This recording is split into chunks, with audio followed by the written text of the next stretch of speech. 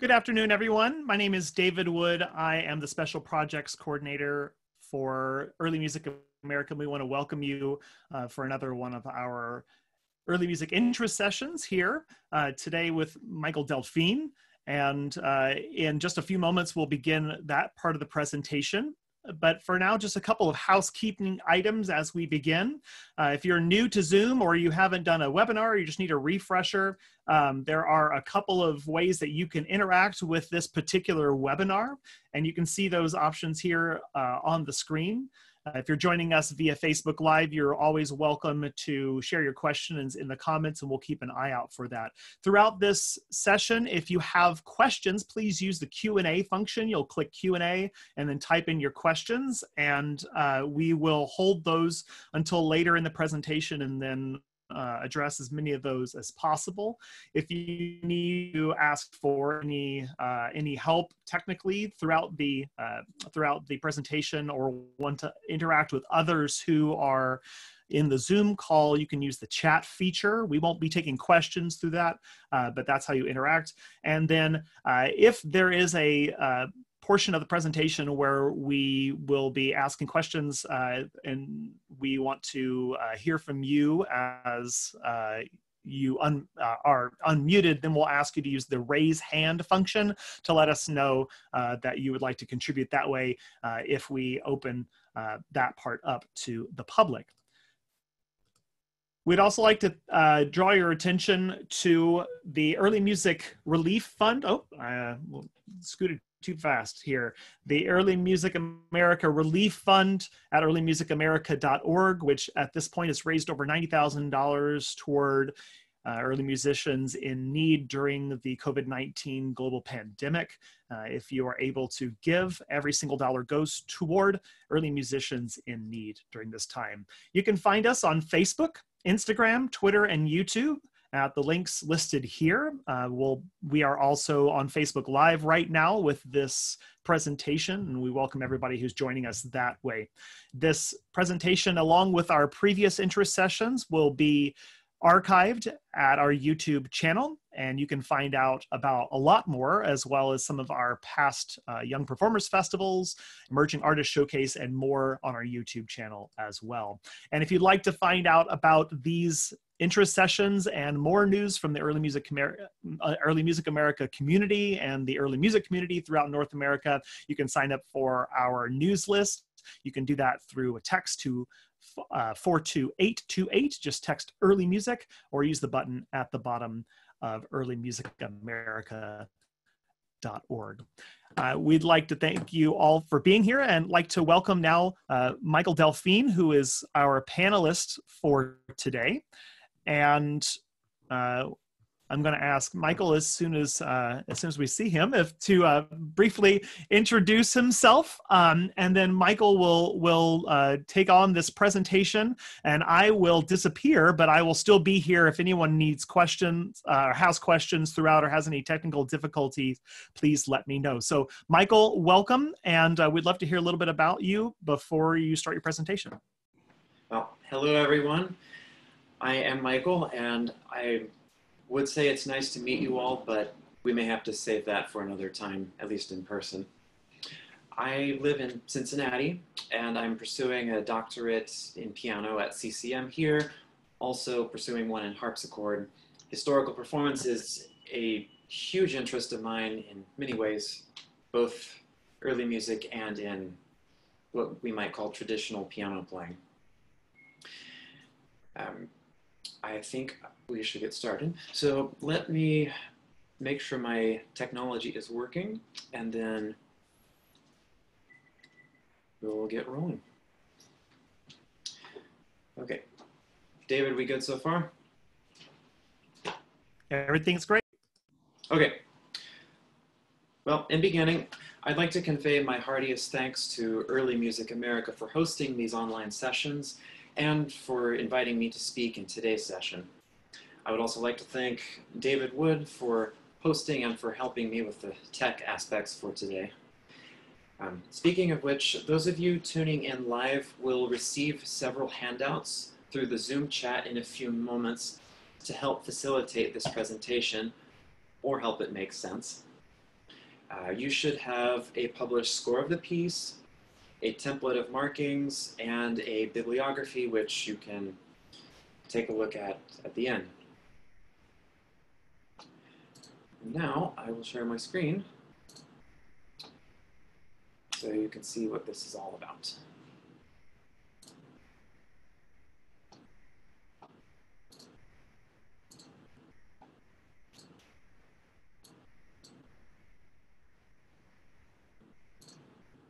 There. Among the many challenges that a performer faces in the music of Johannes Brahms, the choice of tempo and tempo flexibility are among the most elusive. His tempo and expression markings are highly specific, yet Brahms refused to provide metronome markings because of his complete distaste for using the instrument. Additionally, Brahms used highly specific expression markings which may affect tempo with varying degrees of flexibility. Coincidentally, Brahms was known for his frequent and very sensitive use of rubato, as is evidenced by written accounts of his performances from contemporaries. The placement and evolution of Brahms's tempo and expression markings in the variations in Fugue on a theme of Handel, opus 24, assist the performer in two crucial aspects of interpretation. They both reveal significant musical intent for the performer and also help the performer achieve a balance between consistent overall pulse across a large scale work and flexibility in tempo, two traits of his playing made evident in written accounts. I will interject to say that if you would like to actually see me talking besides um, slideshow material in front of you, see if you can toggle back and forth. It's a little bit difficult for me to do that from the distance of the computer, even with a portable mouse, but go ahead and try if you can. Three underlying questions motivate this study of the Handel variations and are the three parts of this presentation. First, how do expressive markings influence underlying bass tempi and variations. Unlike others of Brahms's variation sets, which employ highly detailed tempo markings, the Handel variations uses only simple markings. Furthermore, Brahms did little to distinguish expressive markings from tempo markings in the initial autograph, but made a greater distinction for the engraver's copy, which most editions follow unanimously. An analysis of Brahms's manner of writing markings is therefore crucial to the study. Second, do Brahms's markings suggest that variations are linked by a proportion in tempo? Brahms's surviving metronome markings in other works both indicate rhythmic proportionality across variations and may also help the performer produce a linear tempo plan by unifying Opus 24's numerous and diverse sections. Brahms scholars Bernard Sherman and Jonathan Govias have investigated such techniques in other large-scale works, including the Haydn variations, Opus 56, and this presentation will utilize their findings. And third, do the markings in Opus 24 support claims of Brahms's own tempo flexibility in performance? Applying the observation of Brahms's contemporaries through the lens of modern scholarship will reinforce the interpretation of expressive markings in the final version of Opus 24 while nuancing the proportionality of tempi across the work. Let's see.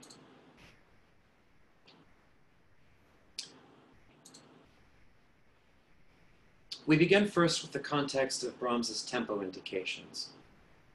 Through sorry, though metronome markings were by no means the default indication of tempo in the mid 19th century, the metronome's popularity was on the rise. Even so, Brahms left only 49 metronome markings in either print, instruction, or anecdote, and most of these do not appear in published scores.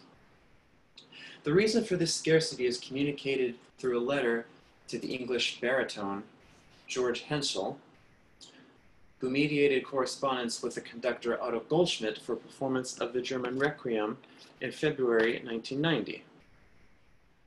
Now my computer is not letting me share things, so give me just a moment. There.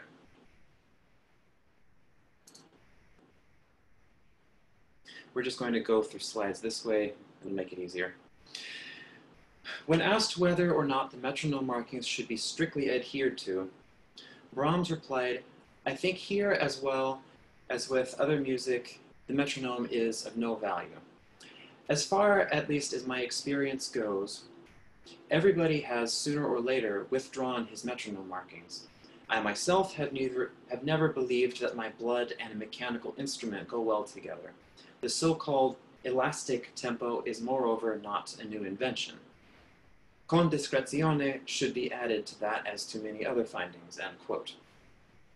More pointedly, when suggesting to Clara Schumann not to revise her late husband's metronome markings, he wrote in 1861, the year of Opus 24's composition, by the way, I advise you to stay clear of it, for intelligent people will pay little attention to your painstaking labor and will not use it. Brahms' reasoning is made clear in the same letter to Henschel. I indicate, without figures, my tempo, modestly to be sure, but with the greatest care and clear, clearness. Opus 24 exemplifies this precision as we shall soon see. Any extant metronome markings from Brahms have been preserved through the labors of his circle. He himself withdrew every one of them before publication. Even without numerical values, Brahms wrote his tempo markings in painstaking deal, detail no matter how simple or intricate. Fanny Davies, a British pianist who took lessons with Brahms, remarked that, quote, he was most particular that his marks of expression, always as few as possible, should be the means of conveying the inner musical meaning. In addition, qualifiers attached to tempo markings often helped nuance the character or dictate it depending on the context, as Jonathan Govias argues. A few instances from Brahms' prior solo piano works provide ample evidence of precision. And for today's purposes, I am using the public domain Breitkopf and Hartel edition, but the markings agree with Henle, Wiener Urtext, and Bärenreiter, which are far more scholarly. We have this example from the Ballade in D major, opus 10, number 2. If you see, the opening andante marking is written in bold, and the following allegro non troppo marking are also written in bold. Note also an espressivo e dolce. If you observe the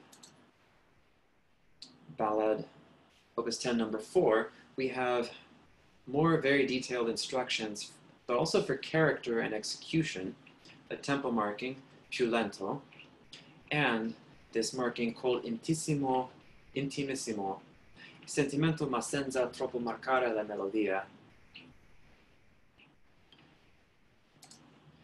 There is also significant variety in the markings and in the manner in which they are written in the scherzo in E flat minor, opus 4.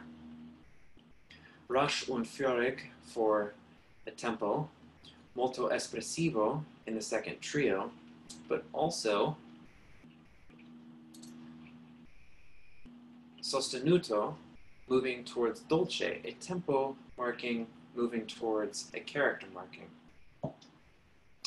Now we turn to it, our attention to markings in Brahms's first published variations, the Schumann Variations Opus 9.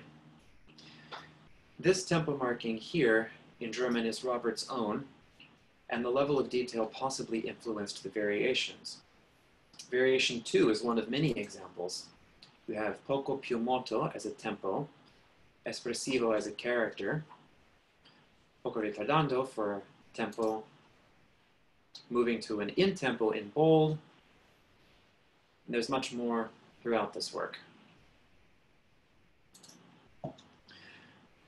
Variations on an original theme, opus 21, number 1, indicate tempo markings such as poco larghetto, very detailed expressive markings, and an articulation marking. Also dynamics. variation one, we have molto piano e legato, so a marking for execution, teneramente, marking for character.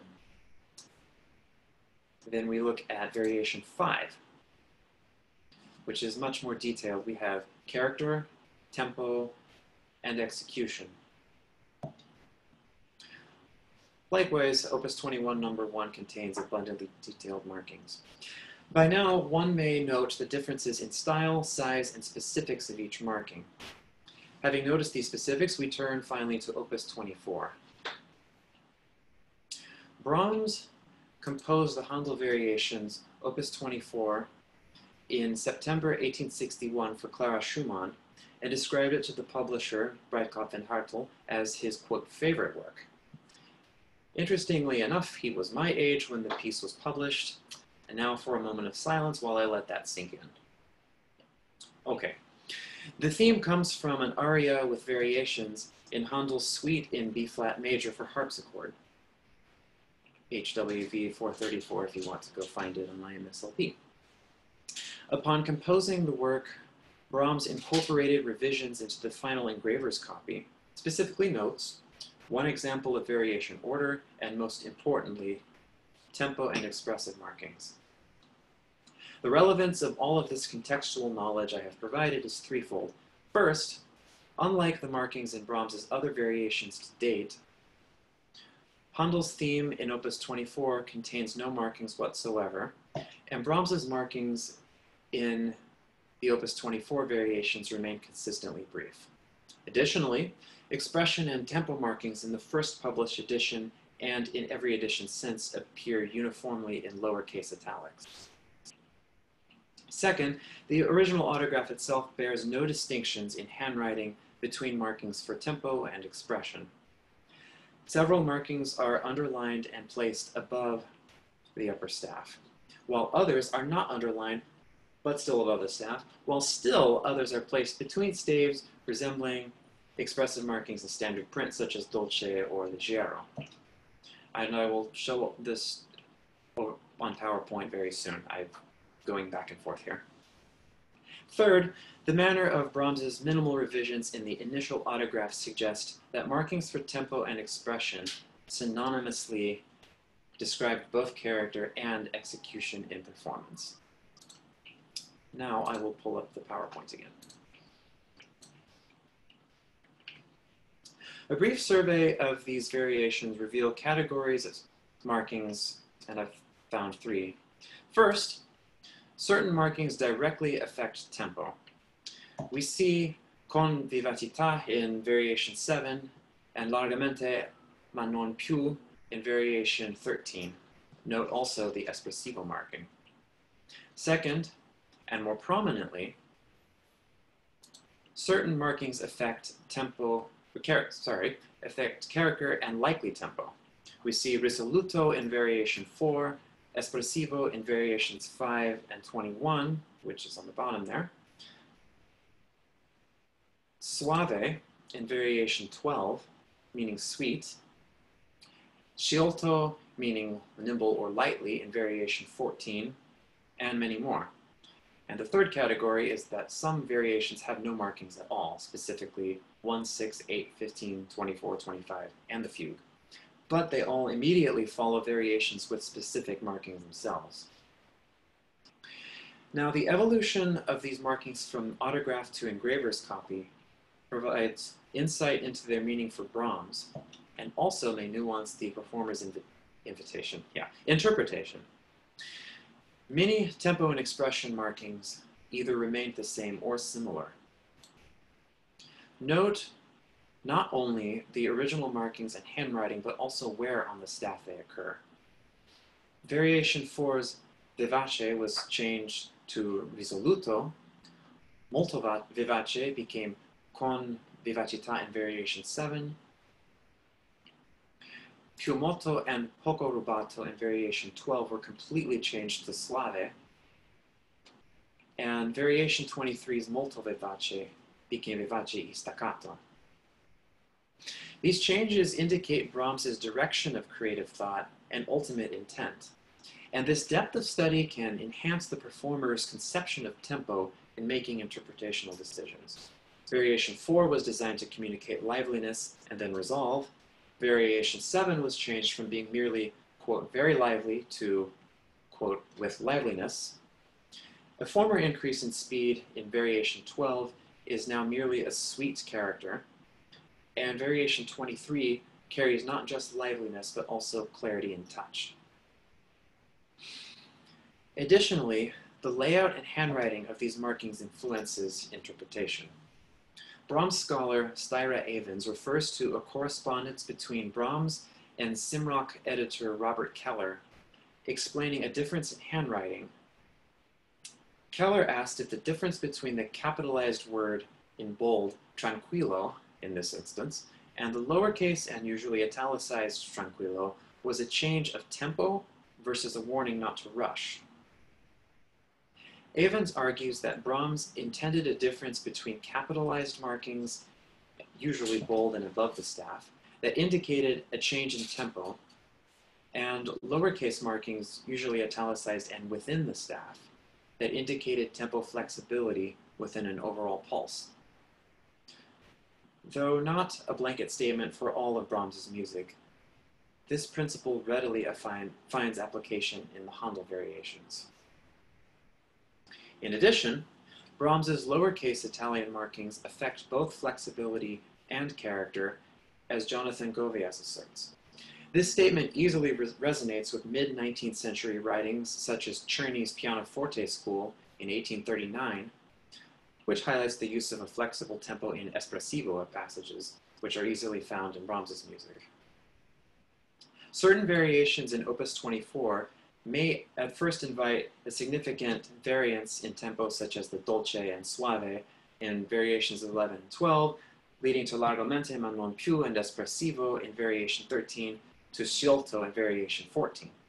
However, Govias contends that a word for expression used as a tempo marking is not directed at pulse, but at character and style. Nonetheless, he offers a solution which is the second main point of this presentation. In order to maintain the integrity of a work's large-scale structure and performance, one may relate tempo proportionately in a linear tempo plan, and thus stay within a large-scale pulse while following the markings for character changes.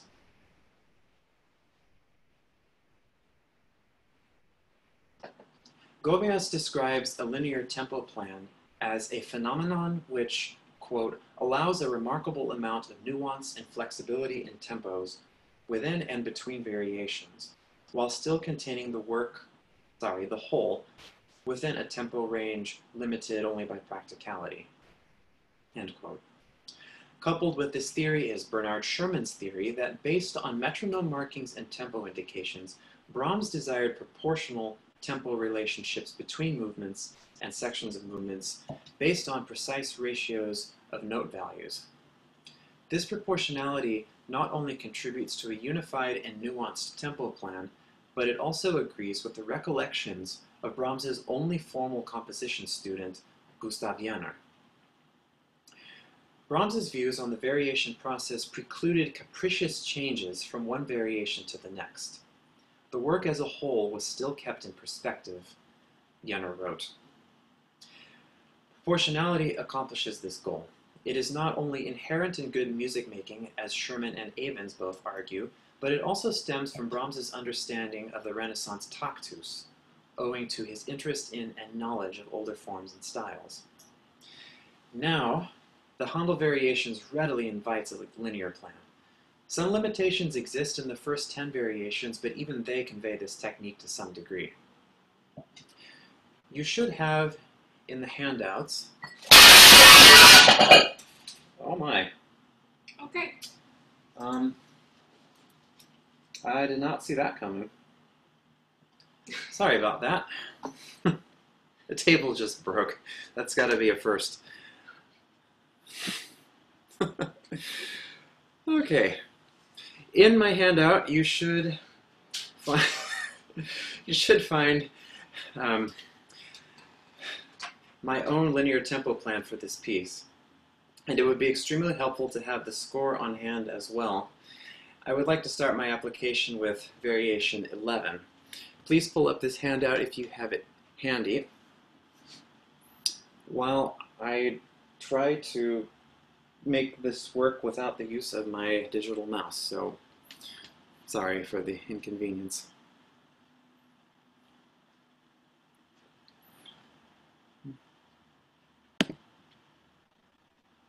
Okay.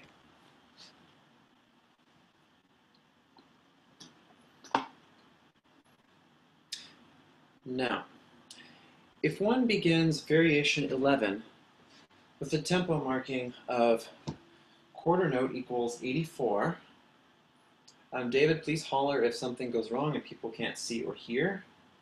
Let's see.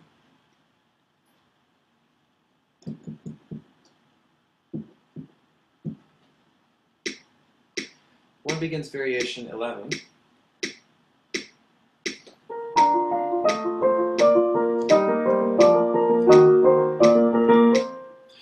Variation 12 follows easily, but variation 13's markings require a massive change in tempo.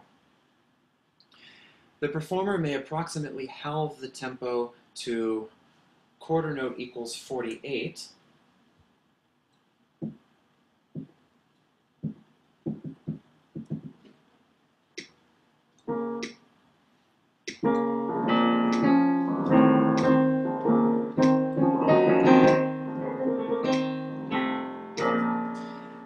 double that in variation 14 to quarter note equals 96.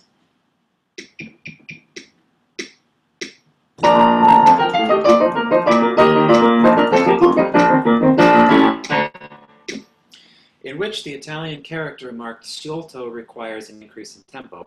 This tempo relationship maintains the pulse while delivering the character change.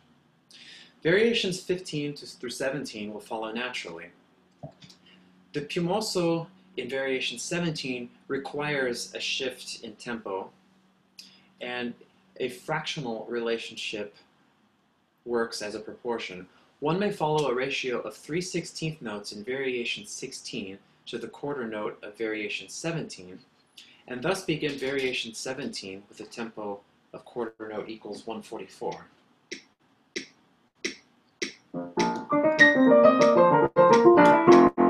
That becomes. Sorry, it's not working.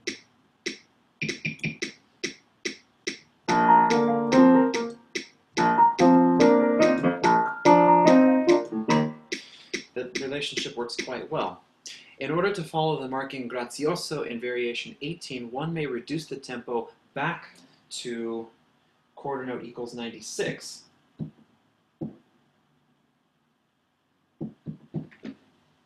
Thus creating the opposite ratio.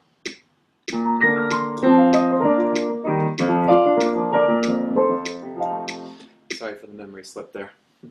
Of note, Brahms originally intended for ritardando to join the two movements without fermata, thus indicating a seamless transition. My proportionality reflects this intent while still honoring the present score. Variation 19 marked Leggero e vivace in 12-8 follows and may take the tempo dotted quarter equals 72, thus creating another 4 to 3 ratio. The resulting proportion between variation 17 and 19 is one half, and any aural confusion across the three variations is prevented by the fermatas between variations 17 and 18 and 18 to 19. The logic of ratios may seem confusing at first, but a natural flow will emerge to the listener, and I'll demonstrate that now. This is variation 17.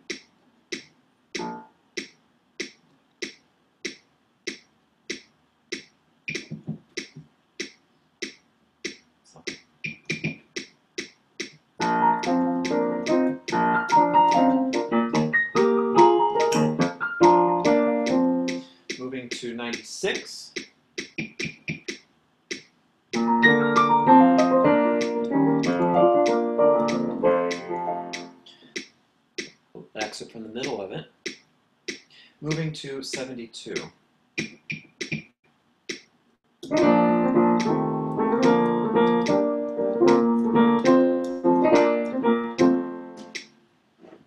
The performer may also relate the following three variations similarly. Utilizing the same sense of proportion, the 16th note in variation 22 becomes the 8th note in variation 23, marked vivace e staccato. This tempo, dotted quarter equals 96, remains constant through variation 24 and into variation 25 in common time. The keeping of a strict bass tempo creates what Govius calls a compression effect, a mostly constant pulse applied with a broad brushstroke. The triumphant arrival of the final variation, originally marked fortissimo, is made even more energetic because the four sixteenth notes now occupy the space previously held by triplet eighth notes, and I will demonstrate that.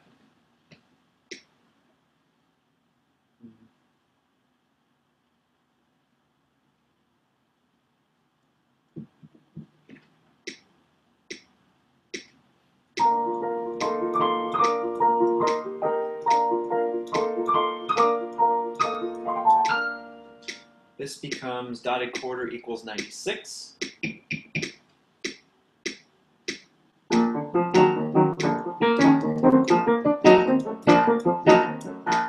Tempo holds steady.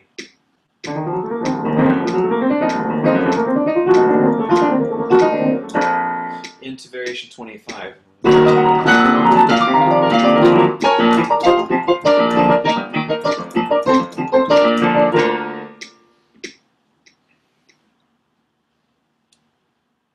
The first 10 variations do not allow this process as easily, but the variety of character and the number of key changes and tempo changes are considerably greater in fewer variations. However, some proportionality is possible in variations 5 through 9, according to what I've listed below, and that way these variations will relate to the rest of the work. The tempo of the theme and first five variations are more difficult to proportion, but one may still choose tempi that return later in the work, thus unifying the piece's tempo structure as a whole. My linear plan for these first six movements has done so. Proportionality in a linear tempo plan is not an exact science, but the Handel variations' expression markings round off rigid-sounding tempo relationships. With all of this practical knowledge, the performer is faced with the challenge of choosing Opus 24's underlying fundamental tempo, or tempi. Solving this problem with record of Brahms's own playing is the final main point of this presentation. Bernard Sherman asserts that Brahms did not believe that there is one ideal tempo for a work, quoting him in that any normal person would take a different tempo every week, and that is Brahms's own remark. And more than once he told musicians who disagreed about tempo in his music that both were right. This issue becomes even more critical when one reads Fanny Davies' admonition in the 1920s, which I'll now pull up. And for time's sake, I'm going to be breezing through most of the rest of the material so we have some time at the end. Fanny Davies remarked that the most important essential in starting to reproduce a work of Brahms is the tempo.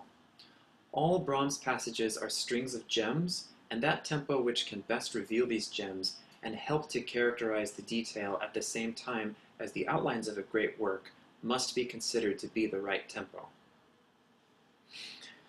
No performance instruction of the Handel variations from Brahms himself exists besides the score. The earliest recording of the work is by Egon Petri in the late 1930s, and he had very little association with Brahms' circle.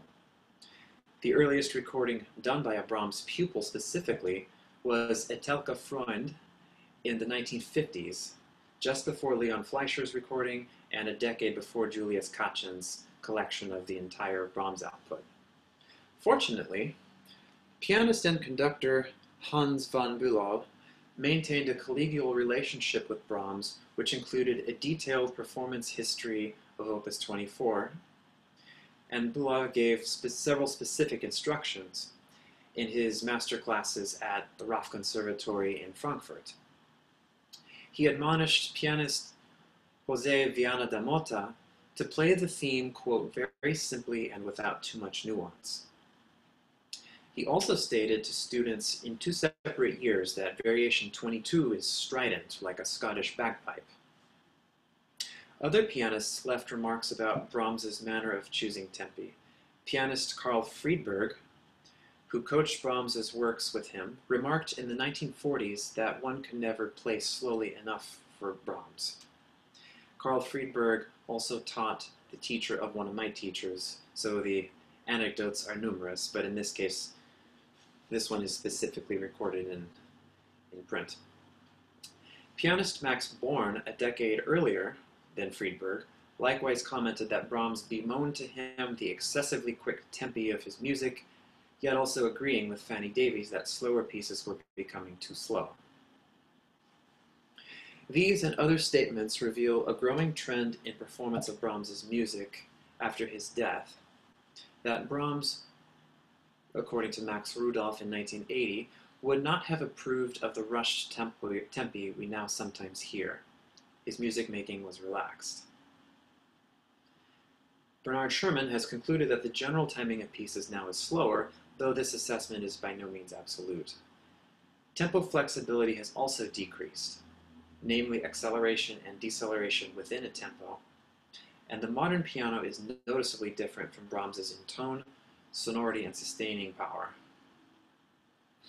Another challenge for the performer is determining specific rules in playing Brahms's music his way, so to speak, especially in a piece with few markings as the Handel variations.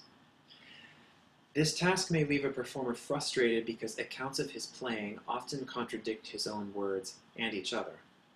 However, a cursory study of these accounts reveals trends that may be considered not rules, but more of guidelines.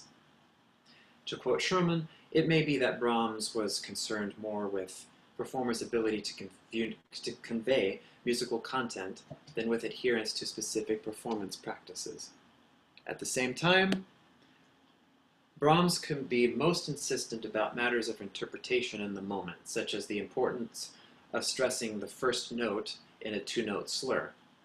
And this is in accordance to Florence May's observation, and Florence May was another British pianist who documented her lessons with Brahms. Concerning rhythm, Fanny Davies wrote that Brahms's manner of interpretation was free, very elastic and expansive, but the balance was always there. One felt the fundamental rhythms underlying the surface rhythms. This and other evidence point to a spontaneity in tempo flexibility, an approach that a performer may find applicable in the simple markings of the Handel variations, provided an underlying rhythm remains intact. Passages marked espressivo, such as in variations 5, 13, and 21, may contain more flexibility in tempo, as Clive Brown would assert in his masterful study of 19th century performance practice. One may attempt a replication of contemporary techniques such as hands playing asynchronously or offsetting a melody from its accompaniment, but a general guideline may be divined from the composer Bernhard Scholz, a contemporary of Brahms. While rehearsing in 1859 with the baritone Julius Stockhausen, a friend and collaborator of Brahms, Scholz was told to play strictly in time against the baritone's flexible interpretation of the part. Scholz later wrote, through him, that is, through Stockhausen, the character of tempo rubato first became clear to me. Freedom of phrasing on a steady rhythmic foundation. This incident occurred two years before the Handel Variations was first performed. And Scholz's summary of contemporary understanding of rubato agrees with Fanny Davies' assessment of Brahms's freedom within etched rhythmic structures. Another indication of flexibility is the presence in the score of crescendo and diminuendo markings, in the form also in the form of hairpins, as we like to call them. Fanny Davies wrote that the sign, the hairpins, used by Brahms often occurs when he wishes to express great sincerity and warmth, applied not only to tone but to rhythm also. He would linger not on one note alone, but on a whole idea, as if unable to tear himself away from its beauty. He would prefer to lengthen a bar or phrase rather than spoil it by making up the time into a metronomic bar. This marking for flexibility contrasted with rubato, however. It involved a planned action, not merely spontaneity. In conjunction with the writings of composers across the 19th century, such as Fanny Hendel, sorry, Fanny Hensel, or Liszt, or Hugo Riemann, that crescendo hairpin indicated a crescendo in movement, and the opposite, a diminuendo in movement. Variations 20, 22, 23, and 24 provide ample opportunity for experimenting with this practice over a steady rhythmic foundation. Speeding up with getting louder was also a common trait among musicians of Brahms's day. Violinist Joseph Joachim, Brahms's longtime friend and collaborator, taught that Brahms would turn the first forte in the third violin sonata into an animato. Brahms also approved an accelerando at a written crescendo in the slow movement of the second cello sonata when rehearsing with cellist Robert Hausmann. Such practices are also communicated in the surviving recordings of Brahms's Circle. The Handel variations provide, provides few opportunities for such dramatic shifts in tempo, as similar markings of growing volume are confined to a measure at most, usually only a few beats. But variations 23 and 24 and the fugue offer several very clear instances to apply this practice, again with the caveat of maintaining the underlying pulse. Other contemporary practices include arpeggiating chords spontaneously. Though this was a common practice, Brahms's arpeggio markings in Opus 24 are very specific, particularly in variations 3 and 13 and the fugue. Florence May observed that Brahms avoided excessive arpeggiation, even if he himself wrote chords periodically in a seemingly unplanned manner. In conclusion, the Handel variations offers the performer an opportunity to make informed decisions of tempo flexibility, proportion, and even interpretation of markings, all through careful readings of Brahms's own words the words of those who knew him, and the score itself. The performer's presentation of markings of crescendo and diminuendo, their relevant hairpins, dynamic shifts, and arpeggios will therefore invite the audience to engage with tempo flexibility, one of Brahms's most praised or contested traits. Simultaneously, the performer can hold together a large-scale form through carefully crafted and flexible tempo proportionality between variations. Now, even with this responsibility of knowledge, the performer still remains autonomous in choice of tempo. Fanny Davies remarked, there is no doubt that the same artist will take a different tempo at a different time of life. The balance of dignity with detail comes with experience, but in gaining the one, the artist must not lose the other. However one chooses to interpret Brahms' score, in the end, all performers may heed Brahms' own advice. Do it how you like, but make it beautiful. At this point, I would play through the entire work to demonstrate all these concepts in action, but since time is limited, I would like to welcome any and all questions you may have.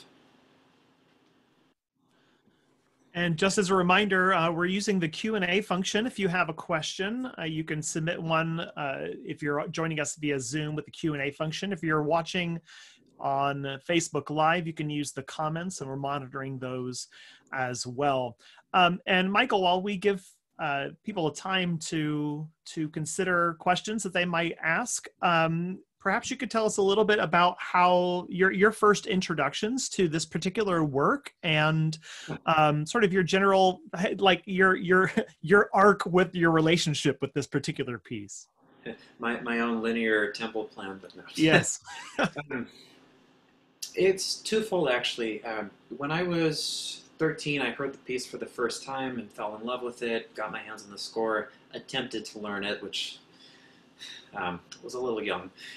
Um, so while getting the piece in my blood, I was intrigued by a comment that a pupil of Carl Friedberg, who taught my childhood teacher, uh, once remarked to me that Friedberg taught that one should play the first four measures, is what he said, but um, the entire first phrase of a Brahms piece exactly in time, and then the rest of it as free as you would like. And I thought that's kind of a strange remark, but I found that through some of his pieces it worked extraordinarily well. And um, having studied this piece in particular, I found out, thanks to the suggestion of my, my former piano teacher, Awadagin Pratt, that certain markings were written differently in the finished score. I took that to the autograph copy and noticed that these markings were written all over the place, but then standardized, yet still different, so that immediately presented a, a good mystery to solve. Hmm. Um, I'm asked this question if I can elaborate on ways that knowledge of Brahms's piano as compared to ours might affect our consideration of tempo. The decay on Brahms's several choices of piano was much faster. If you look at variation 9, we have measure, measured pedal markings, um, two measures long. If we try that on a modern Steinway or any other piano, the decay is going to be considerably longer, the pedal is going to blur. It's likely that now we might choose a faster tempo. It's possible that the decay on a period instrument would wouldn't be as much of a problem. The sound would die. Um, there are several resources out there. Um, one is Camilla Cai, I, I, think that's how you say her name, C-A-I, who's written extensively on this subject. Um, but I think it certainly can make a difference. I haven't done as much study in this as I would like, but I will now. Now, do we have any idea of applying those, is that tempo concepts mm-hmm. to orchestra so. repertoire? Yeah. Mm-hmm. Mm. Applying these tempo concepts to orchestra repertoire, um, Bernard Sherman has written about this somewhat more. Um, Michael Musgrave, I'm just thinking back to the research I've done on this. Um, Brahms was a fairly flexible um, conductor and encouraged that in from what we know of his own um, recollection, other people's recollections of his conducting, Bülow, um, one, George Henschel and others. Um, the proportionality makes sense in the score based on, let's say, the retracted metronome markings from the German Requiem. That's probably the strongest source we have for proportionality in Brahms's orchestral music. He withdrew his markings, so it's difficult to say that they were, you know, absolute. They must be followed at all times but they give a great indication. I think it's it's worth digging into those as a good place to start. Yeah, and for those who are unfamiliar, could you explain uh, just uh, just briefly about the this the idea of this retraction of the of the metronome markings in the in the requiem, how that like why that was? In the requiem, um, I'm not entirely sure just because mm-hmm. I, I was limiting most of my study to piano music. And, sure. Um, sure. But it, it's interesting that before the final printed copy, everything was withdrawn. He was initially um, asked to put metronome markings in Mhm. with the knowledge that they could change, and you know, hence his communication to um, Henschel. Mm. That was an instance where he's like, "Well, because people told me to."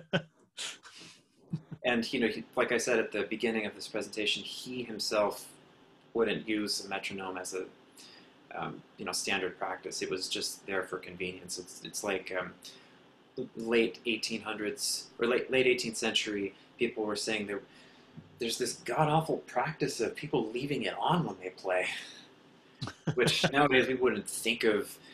Um, just clicking it once or twice, putting it away, and practicing.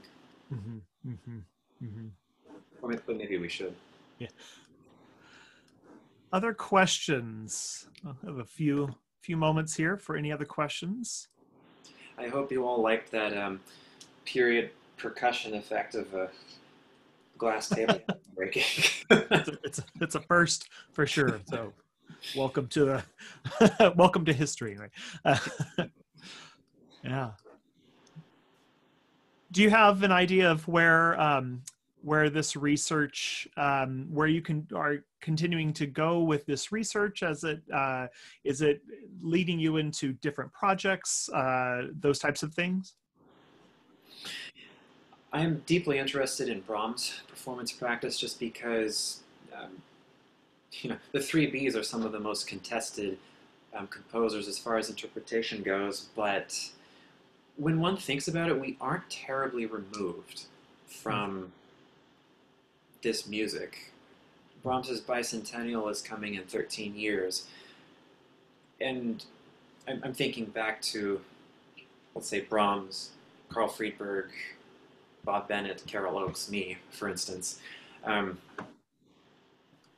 it's not terribly far, so I'd like to apply this kind of research to, let's say, the later works, um, some of which we have period recordings of, and recording not period recordings, but uh, recordings of his students. And the fascinating thing is that the further back in time we go with recordings, the more we start to hear Brahms's own practices coming across, whether by people who played for him or just people who were alive when he was alive, such as that um, you know that quote of Julius Stockhausen I meant, or I, I, I mentioned. Mhm. So I, um, this is fairly open-ended at this point. Um, I plan on using today's presentation's material for my doctoral lecture recital, and those can be springboards for all sorts of Mhm. research adventures. Sure. Mhm. And uh, I just, uh, for those of you joining us on Zoom, I just shared once again a link to the the uh, online folder that has all of the handouts for today. Um, this was also shared earlier in the comment section on Facebook. And when we post the archived version of this presentation to our YouTube channel, we'll make sure that that is also linked in the description there. Um, and that will be posted later this evening, and we'll have links to that in our newsletter that comes out tomorrow uh, on Tuesday, the 19th, and we'll have uh, uh, the, the complete recording and other information there for anyone who wants to uh, listen to that. Um, well, seeing no more questions at this moment, um, want to thank you once again, Michael, for joining us and uh, leading us through this. Uh, it's it's you know it's so it's interesting to to see um, how these kinds of how these kinds of studies can can really help uh, develop a, a, a a complete view of a, of a larger work and these kind of connections. And so uh, I want to thank you uh, and thank everyone for joining us. Oh, we did have one other question here. Uh, what might you say to capricious performers such as de Pachmann? I'm not sure. Oh, um, is that Vladimir de Pachmann? Perhaps. Listening to recordings at the, um, made from around the turn of the century, um, you know, the first thing that comes to mind is that maybe some performers didn't take themselves as seriously as we do we take ourselves now. um, I think I've if there's this one recording, I think it's of him playing um, the Chopin Black Key Etude, but I could be completely wrong. I've I remember hearing some recordings just sounding like improvisations within the middle of a piece with glissandi all over the place and everything. These these recordings are enlightening because they are such a huge step into the past. And you know, even 50 years later, uh, past this recording, I'm thinking of is Benno Moiseiwitsch playing this exact piece, the Handel Variations. If there is tempo proportionality, I wasn't able to find it while listening. It, it was very whimsical, but it was at the same time so beautiful. So, you know, my interpretation of the piece is, is one of many, and I think we, we do well from following Brahms's own advice. Just make it beautiful. Well, um, for everyone joining us and for anyone watching on the uh, on the recorded feed afterwards, uh, our next intercession will be on June the first. So we're skipping next week for the Memorial Day holiday. Our next session will be on June the first um, with a presentation on the uh, James River music book. Uh, so you can find information about that on our website, and I'm putting into the Zoom chat the uh, registration link. You can find out more about that particular project if anyone is interested uh, in that for two weeks from today on June the 1st. Uh, once again, on, on behalf of Early Music America, thank you very much, Michael Delfin, for joining us today. Uh, it was very enlightening. Thank you for having me. It was a real treat. And thank you everyone for joining us. Bye.